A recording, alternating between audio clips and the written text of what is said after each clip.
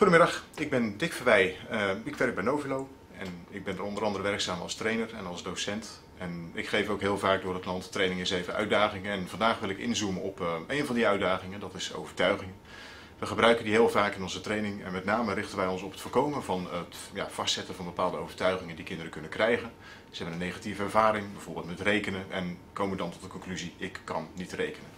Dit zie je bij hele slimme kinderen wat meer gebeuren vaak, omdat zij over het algemeen dingen heel goed en makkelijk kunnen. We hebben dus al een hele veel ervaring in een jonge leventje dat ze dingen heel makkelijk oppikken en eigenlijk in één keer goed kunnen doen.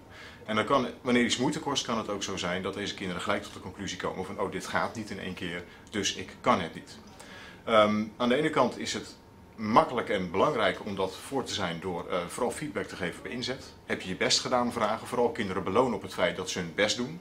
Dan is eindresultaat niet zo belangrijk en leren kinderen tot hard werken eigenlijk hetgeen is wat, uh, wat je verder brengt in het leven. Maar wat doe je nu met een kind wat al redelijk vastgelopen is met zijn of haar overtuiging? Een kind wat al zo vaak heeft meegemaakt dat rekenen echt niet lukt en dus ook die conclusie heel stevig heeft getrokken, ik kan niet rekenen. Om dat te remediëren um, kun je gebruik maken van het model van de 4G's. En de 4G's staan voor gebeurtenis, iets maak je mee. Vervolgens heb je daar een gedachte over um, en die gedachte wordt vaak gevolgd door een gevoel. Uiteindelijk dat gevoel en je gedachten bepalen dan wat jouw gedrag wordt. Als die cirkel zich een aantal keer, die loop zich een aantal keer heeft voortgedaan, dan zie je dat zo'n uh, loop zichzelf gaat verstevigen. Je begint met een gebeurtenis, ik krijg een rekensom en het lukt niet. Nou, dus de gedachte daarbij van, oh, nou, dat is heel vervelend, ik moet hier hard voor werken, ik krijg het niet voor elkaar. Het gevoel daarbij kan zijn dat het kind gefrustreerd raakt, uh, boos wordt, uh, misschien een beetje ja, gewoon vast komt te zitten daarin. En het gedrag is dan vervolgens dat het kind um, ja, met zijn schrift gaat gooien, bijvoorbeeld. Of wegloopt van de rekentoets, probeert er onderuit te komen. Maar dit neem je mee naar de volgende keer. Als je dan vervolgens weer met een nieuwe gebeurtenis wordt geconfronteerd, uh, ik moet weer een rekenopgave gaan maken, dan kan het zijn dat het kind natuurlijk nog in zijn gedachten heeft wat de vorige keer is gebeurd. En dus die gebeurtenis meteen al kleurt. Waardoor de gedachte negatiever wordt, het gevoel daarbij negatiever wordt en vervolgens het gedrag ook een stap naar beneden doet. Nou, dan zit je in een negatieve spiraal wat betreft overtuigingen.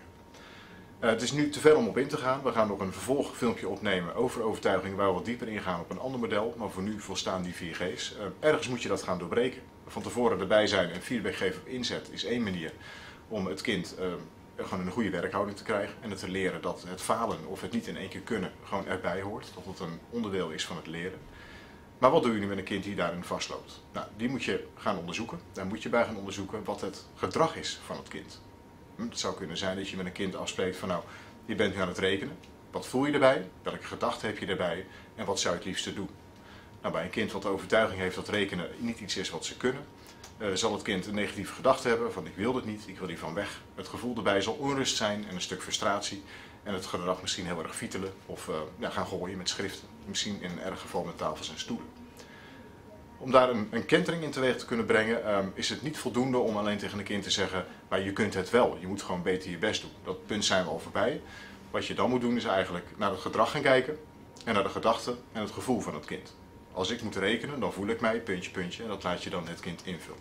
Vervolgens kun je stappen terug gaan zetten. Je kunt terug gaan redeneren in die loop van gebeurtenis, gedachte, gevoel en gedrag. Om zo tot de conclusie te komen van hé, hey, ik voel me altijd zo omdat ik dit en dit heb meegemaakt. En vanuit daar kun je dan het gevoel en een gedachte gaan keren door de gebeurtenis opnieuw te presenteren, maar het kind erin te coachen, die gebeurtenis met een ander gevoel aan te gaan.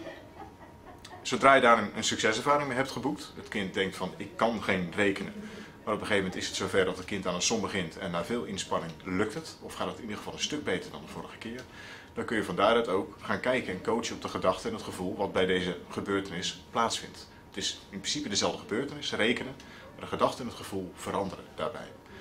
Als je die loop een aantal keer herhaalt, dan zul je zien dat de oude overtuiging ik kan niet rekenen uh, vervangen zal worden door als ik mijn best ga doen, dan kan ik best wel heel erg goed rekenen. En dit is in het kort eigenlijk even een, een coachingsmanier waarop je kinderen daarin verder kunt helpen. Het is um, uh, nog redelijk makkelijk verteld, zoals ik tot nu doe.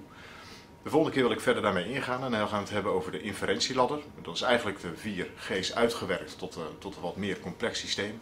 Waarin je eigenlijk van je overtuiging terug kunt gaan redeneren van hey, hoe kom ik eigenlijk bij deze overtuiging? Welke aannames heb ik erbij gedaan en welke conclusies heb ik erbij getrokken? Zo daal je steeds verder af totdat je erachter komt bij het kind wat uh, te grondslag ligt aan deze overtuiging en wat je kunt doen om het gedrag in het vervolg te gaan veranderen. Dank jullie wel.